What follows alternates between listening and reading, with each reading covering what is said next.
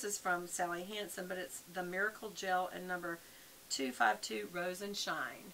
And so I decided that I would also, um, you know, this is a gel formula. Even though y'all know I have been using this and I'm loving this um, from Beauty Guard, the Rocket Nail Fuel. And it has really helped my nails to grow and strengthen. Um, but it comes in the clear, which I like. And then it now has um, the nude color, which I do have on right here. And it also comes in this red, which y'all seen me wear once or twice in videos. And then I haven't tried this yet. This is called Gender Neutral, and it's just kind of a grayish. It's like a, a cross between a gray and a beige. And that's going to be great for fall. So I really love these, but I was kind of in the mood for something. This is more nudie pink. This is more rosy pink. So I just wanted to try it, and I like Sally Hansen. Um, this is supposedly step one, and then you put the coat on top. I may just use that coat on top, or I may just use this over this. I don't know. But um, I just realized this went over, so I'm just going to keep talking. One of the things I will probably likely go back and do before I do the tutorial, so I may run up there real quick, um, or maybe tomorrow, because I don't really have a reason to run up there right now just for lip gloss or lip product. But um, I do want to go back and get a color that's a little closer to this. This you know, like it, says it's plum, but this is clearly much, much, much darker than this is. And to me, I, I tell you, this says it's plum, but it just looks like it's going to be a lot darker. Hold on, where's the hole? Let me just get that off. Let's see if we can just go ahead and open it. There we go. Oh, very cool, by the way. Once you open this, it opens with the bottom first, so it has a brush and a mirror. So then you must have to lift the top. Yes, you do. That almost looks like, is that supposed to be a blush? Blush and highlight. That does not, okay, I've just got to try this out right now. I can't wait. Y'all know me. I'm not as good a YouTuber as some of these ladies that they have their makeup all set and so they're not going to add, and, and other people look at this and go, Beth, you already have product on so it's not going to be a true. I'm just going to try it. And let's see about this little brush. That's interesting. It barely took product. Okay, so I am going to go ahead and look, use this little uh, mirror, and I'm just going to brush down like that. And see, that's what I thought. It looks a little ruddier than plum. Now, I do have a ruddier color on. When I say ruddy, I mean like a rusty. This to me looks more like a peachy pink or rusty pink. When I say peach, that's what I mean do right on the, notice I don't need anything up there. Maybe we'll do down here a little bit.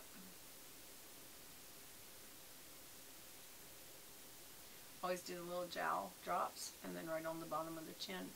And for me, because of my little fatties, you can also just kind of blend that back out. And you can always use the other side to blend it a little bit. Oh, no, I'm going to use the other side. Use a highlighter. Let's see how this highlighter looks. Why not? See. Is that what makes it more plummy? Because it's just not looking plummy in my opinion. Well, it's a good highlight. Let's maybe tip off the end of the nose. Maybe the Cupid's bow. On the Cupid's bow, I'm learning just to use your finger.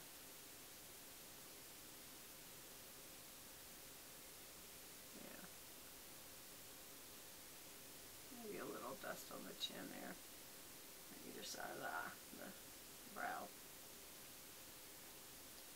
Actually, I think it could actually use a little more. If you're going to do a, a, highlighted look, I would come in a little on the cheeks just to wake up this area. Stay below your crow's feet, right below it like that. But you still want to get that cheekbone. Hmm. Now, I don't have foundation on today, y'all. I just had contour and blush. That's interesting. I like it. Um, I will be interesting to see how this looks um, without me having anything else on my face because I do feel like this is bronzy looking more than it's plum looking. And it'll be interesting to see with all these highlighted products. Actually, only the highlighter. I could have just left the highlighter off if I use this, um, if I use this Lumi Glotion. Um, and again, it says it instantly hydrates and luminizes for all over fresh, healthy, naked skin glow. So What I would say about this is it says apply alone or under makeup. So you don't put it on top, you put it underneath. Either way, you put this on first. So after you've cleansed your face and you're ready to do your makeup, you would put this on and then if you want more coverage, you would add your foundation above it and this will come through and have kind of a glowy from within look supposedly. So um, I've heard a lot of good things about this and I, I remember using a Lumi product before and I really did like it. Y'all, I'm so digging the smell. This is that caramel apple from Bath and Body Works, and y'all, I am just so loving it. I love the fall smells. Let me turn that around so you can see the actual candle instead of a label. That's so pretty. Sometimes I like to show the label because I like what's in it. But it smells like fall, and I'm so ready for fall because I'm so good, sick of it being so hot.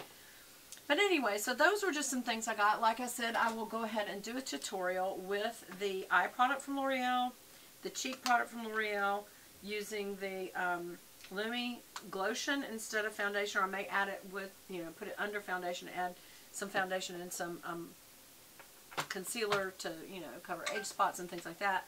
Um, and then, in the meantime, hopefully before I do that, I will go back and get a, what I feel, even though it all says plum, I, this is way too dark, and I feel like that I need to go back and get a different lip product for the tutorial. So, that will be coming. Y'all, please, if you have not subscribed, feel free to subscribe below and uh, hit that little notification bell and that lets you know when I have a, a, um, a video coming through and you can decide if you want to stop and watch it or wait till later. Um, also, if you have friends that, that you think would enjoy this this uh, channel, please forward a link and, and tell them to subscribe. It's always good for me to keep the subscriptions up and coming for YouTube.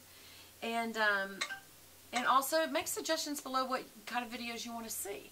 Because, um, you know, some of you are new, some of you have been around a while, and it, that may change, or you may have new ideas, whatever. Um, but, you know, in this channel, we just enjoy um, makeup and hair, and and uh, in the middle of talking about it, we bring up Jesus. We're not afraid to talk about Jesus on this channel, so I hope if that's your... Um, if that's your uh, something that you enjoy, then I'll be glad of that. If you don't, then I would encourage you to just listen up sometimes and, and just be open-minded. Um, I don't ever want to be offensive to anyone, but at the same time, I'm, I'm not going to ever apologize for being a Christian, y'all. So, and he just comes up in my conversation pretty regular. So, yeah, that'll be a part of it. So, anyway, I hope y'all enjoy the next uh, video that I do, which will likely be a tutorial of this. And I will see you guys again soon. I love y'all so much. Love you. Talk to you again soon. Bye. Bye.